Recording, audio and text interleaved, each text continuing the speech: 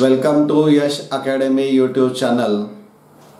Today in this video we are going to discuss the 11th topic of chemistry 12th that is alcohols, phenols and uh, ethers.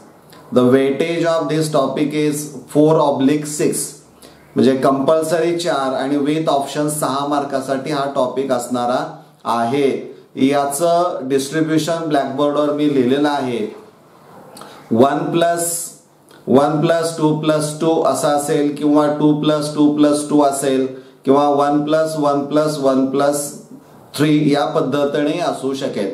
कारण यामध्ये alcohols phenols ethers अशी तीन सब units ही वेगवेगळी आहेत आणि त्यामुळं प्रत्येकाला किमान दोन मार्काचं वेटेज त्यामध्ये जाऊ शकतं अशा पद्धतीनं प्रश्न हे प्रश्नपत्रिकेमध्ये साधारणपणे येऊ शकतील. हा एक अंदाज आहे त्याप्रमाणे आपण अपेक्षा करायला काही हरकत नाही.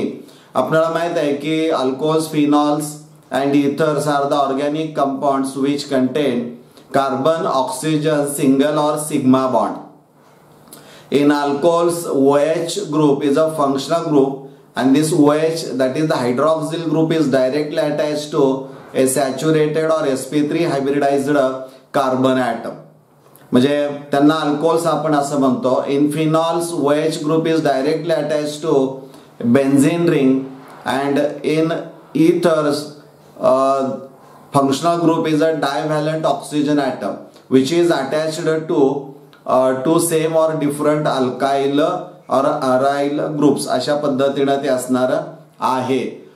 तुम्हाला माहीत आहे की alcohols depending on the number of OH groups present in a molecule they are classified as a mono, di, tri and poly and monohydric alcohols again uh, classified as primary, secondary and tertiary alcohols uh, depending on the nature of or the type of carbon atom to which this OH group is uh, attached.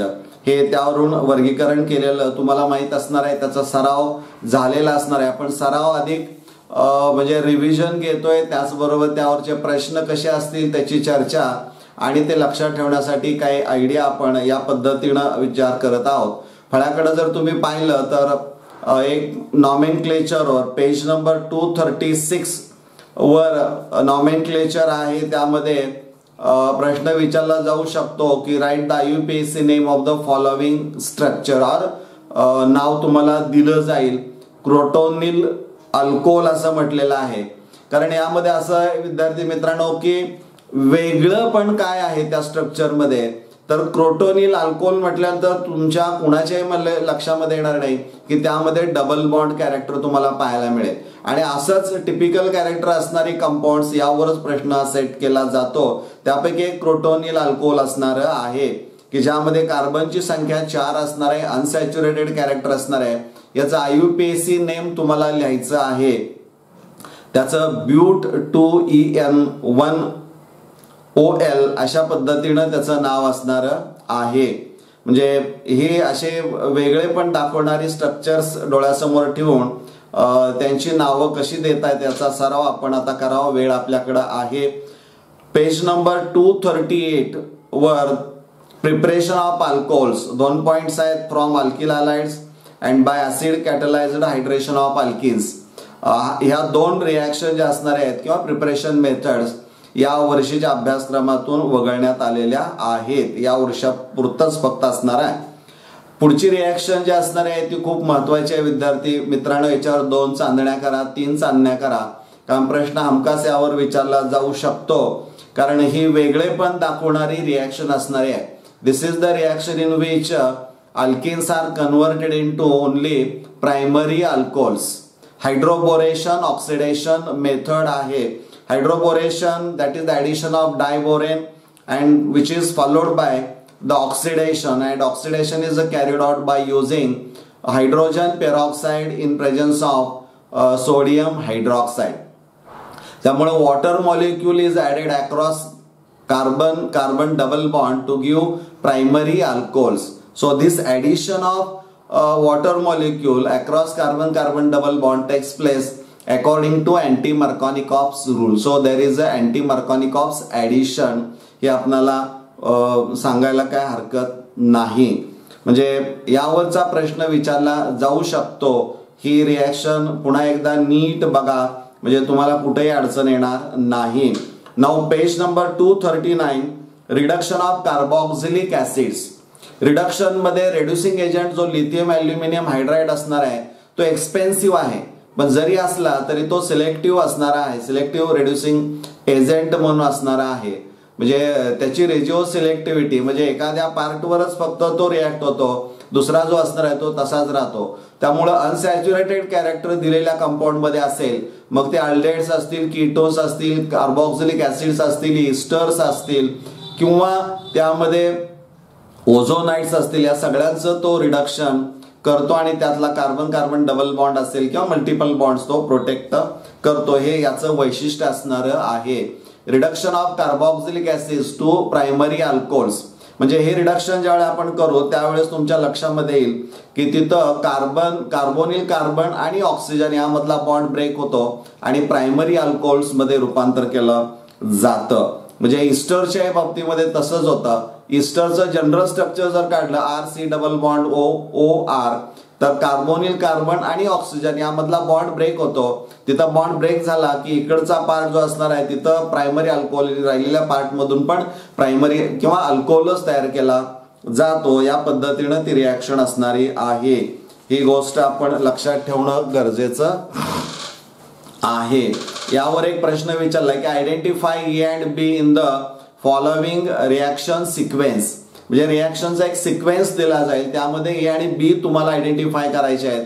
रिॲक्शनमध्ये acid दिलेला आहे alcohol दिलेला आहे याचा अर्थ carboxylic acid आहे alcohol आहे.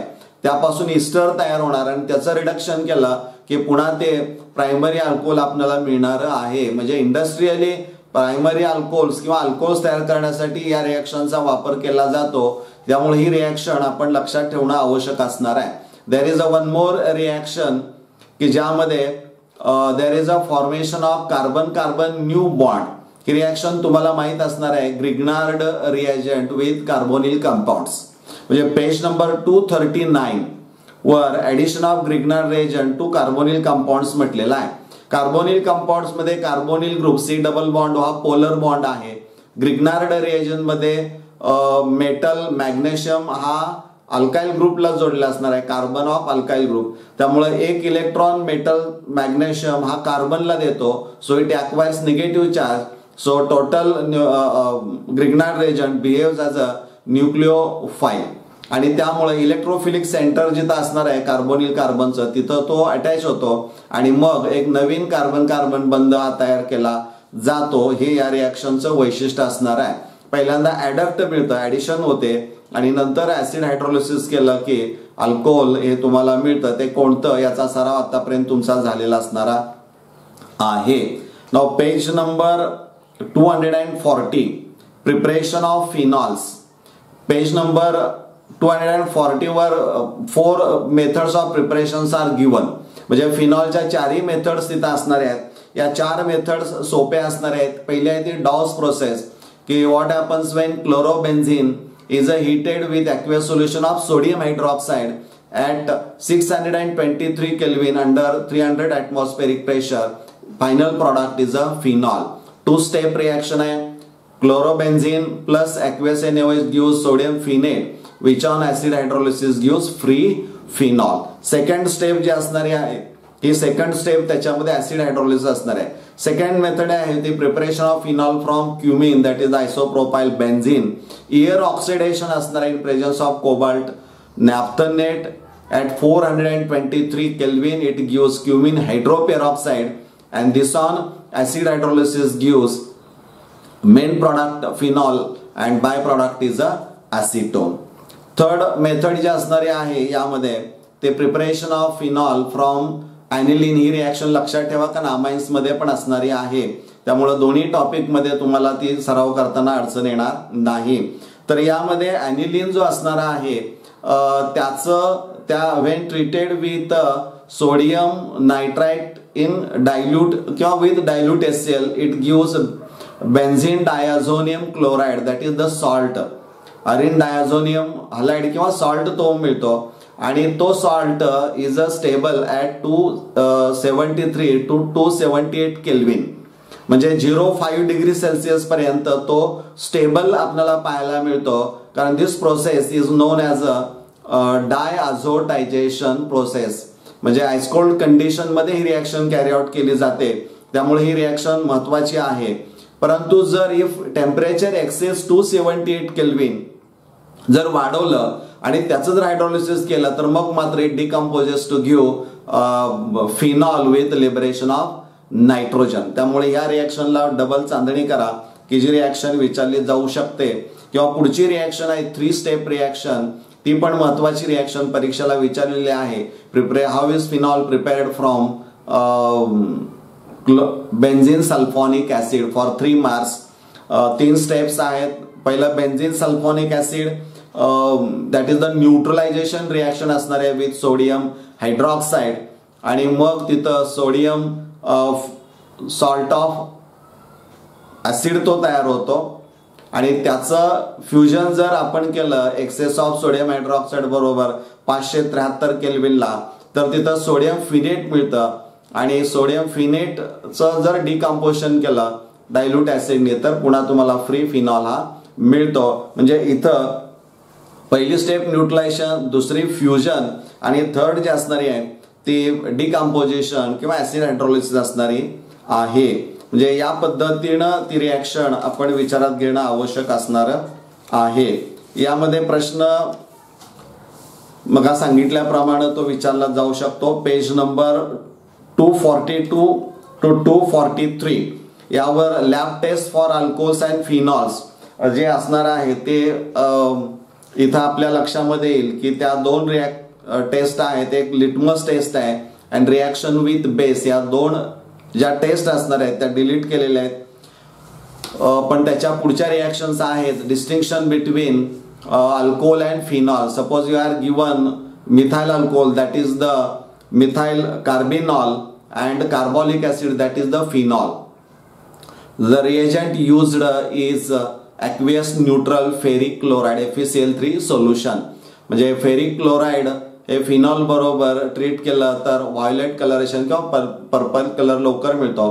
परंतु alcohols बरोबर ती रिॲक्शन नाही. त्यामुळे ही रिॲक्शन डिस्टिंक्शन टेस्ट म्हणून वापरामध्ये येऊ शकते.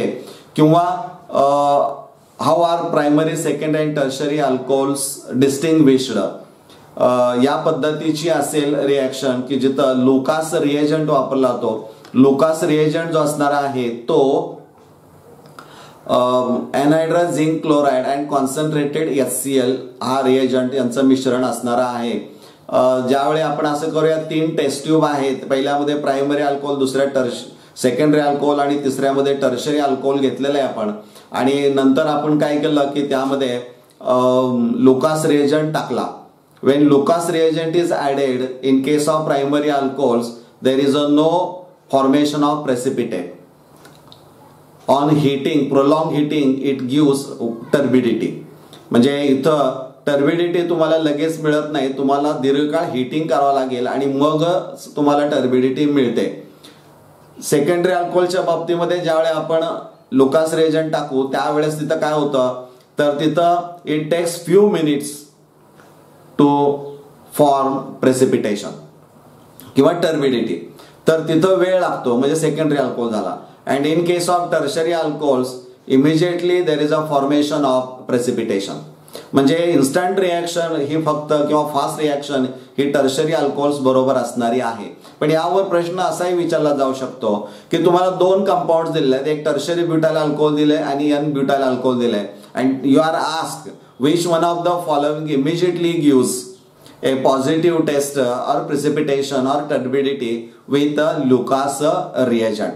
तर त्यावेळेस तुमच्या बुद्धीचा कस हा तुम्हाला वापरावा लागणारा आहे. म्हणजे वेगळ्या पद्धतीनं ती रिॲक्शन घडू शकते. त्यानंतर page number two forty five वर जो पार्ट आहे reaction with phosphorus halides and dehydration of alcohol this part is deleted यामध्ये आणखीन एक रिॲक्शन महत्वाची acetylation of salicylic acid aspirin tablet तुम्हाला माहीत असणारे आहेत. सॅलिसिलिक ऍसिडचा ॲसिटिलेटेड डेरिव्हेटिव्ह असणार आहे ॲसिटिलेशन केलं जातं. यामध्ये विद्यार्थी मित्रांनो शेवटची आजच्या या व्हिडिओमधली रिॲक्शन असणार आहे याचे दोन पार्ट आपण या टॉपिकचे करणार आहोत. Page number two forty six पर्यंतच आज आपण पाहणार आहोत. त्यानंतर पुढचा व्हिडिओ असणार आहे याच टॉपिकवर ऑक्सिडेशन ऑफ अल्कोहोल्स ही रिॲक्शन खूप महत्वाची आहे.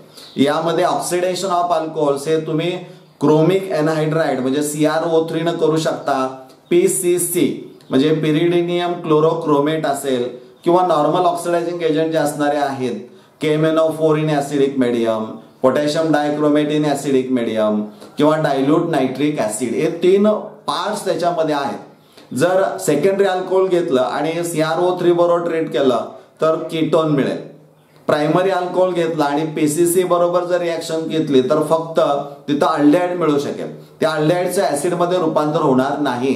पण जर प्रायमरी अल्कोहोल घेतलं आणि आपण तिथं KMnO four in acidic medium असेल किंवा डायल्युटेशन एचएनओ थ्री असेल किंवा potassium dichromate in acidic medium जर घेतला तर तिथं मात्र फर्स्ट प्रॉडक्ट अल्डेड असेल नंतर aldehydes are converted into acids म्हणजे कार्बॉक्झिलिक ऍसिड्स हा फायनल प्रॉडक्ट त्याच्यामध्ये मिळू शकतो. त्यामुळं तुम्हाला विचारला जाऊ शकतो प्रश्न असा की what is the action of the following reagents on ethyl alcohol म्हणजे इथाईल अल्कोहोल दिलाय आणि खाली रिएजंट दिलेत. एक पीसीसी आहे आणि दुसरा पोटॅशियम डायक्रोमेट इन डायल्यूट एस्टोसोफोर असणार आहे. म्हणजे हे दोन दिले तर तुम्हाला प्रॉडक्ट लिहिताना पीसीसी असेल तर फक्त प्रायमरी तिथं फक्त अल्डेड तुम्हाला मिळेल प्रायमरी अल्कोहोलपासून. आणि पुढं तुम्हाला कार्बॉक्सिलिक ऍसिड हा फायनल प्रॉडक्ट मिळणारा आहे.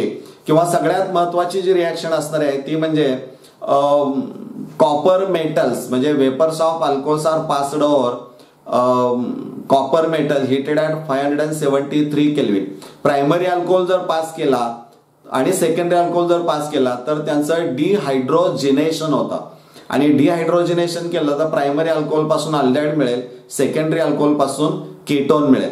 परंतु टर्शरी अल्कोहोलच्या वेपर जर कॉपर मेटलवर पाचशे त्र्याहत्तर केल्विनला पास केल्या तर it undergoes dehydration so there is a formation of an alkene म्हणजे तिथं आयसोब्युटीन हे तयार केलं जातं. म्हणजे या पद्धतीनं या रिॲक्शन्स असणाऱ्या आहेत. यावर आपण सविस्तर अभ्यास करावा. आपल्या मित्रांना हा व्हिडिओ बघायला सांगा.